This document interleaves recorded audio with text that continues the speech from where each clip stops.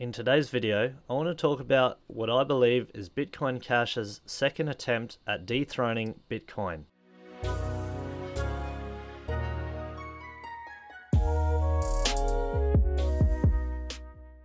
Hey guys and welcome to today's video. Um, today I'm going to be talking about Bitcoin Cash. There's been some big news and what I believe is an attempt at market manipulation. But first, a quick update on the cryptocurrency market cap. So we're currently sitting at 600 billion here. We have dipped down a little bit. I believe we're around the 650, so we've pulled in a little bit. 24-hour volume super high, still at 48.5 billion, and a BTC dominance has dropped to around 47%. Now, the big news for Bitcoin Cash. Bitcoin Cash has officially been added to Coinbase. Now, keep in mind, guys, Coinbase is one of the largest exchanges out there right now. Uh, for a little while, it was the top downloaded mobile application. So, a lot of newcomers have been jumping on, signing up to Coinbase, and purchasing cryptocurrency for the very first time.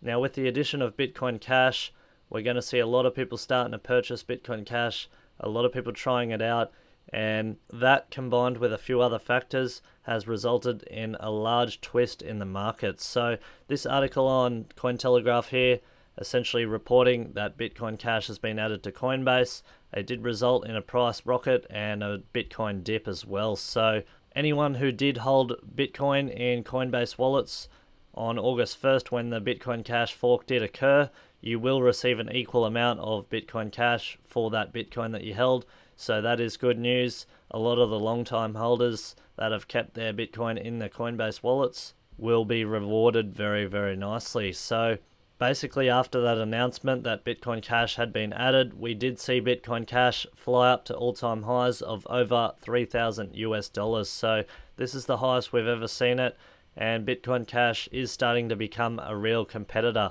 But I just want to show you guys this quick post from Mark Magard here in the Cryptocurrency Collectors Club.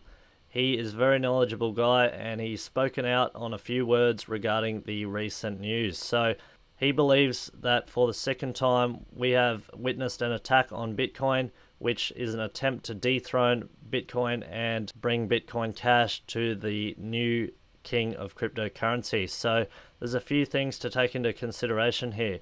Coinbase suddenly decided to release Bitcoin Cash when it was actually scheduled to happen in January of 2018. So that has happened a little bit early and it's been all of a sudden. No one really knew it was coming out today. So that is a little bit suspicious in my opinion. So in conjunction with that, we've had some major players sell a large amount of Bitcoin at the same time. And we also seen Jihan list S9 Antminers for sale at the same moment that BTC was dumped and Bcash was released. So these S9 Antminers can only be bought with Bitcoin Cash. So this is another thing that links to the whole scenario. And there's also been a large media blitz right now with an article posted out by Roger Ver, who is the creator of Bitcoin Cash.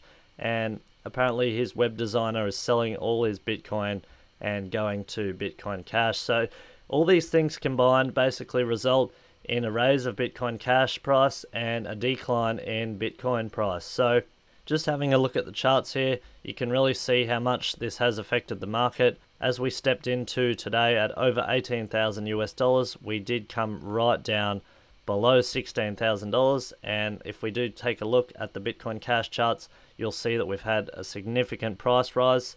In my opinion, I do see this continuing. Whether it is a market manipulation or not, I'm not too sure. I do believe Bitcoin Cash is a solid project. It does have some very nice advantages over Bitcoin and other cryptocurrencies.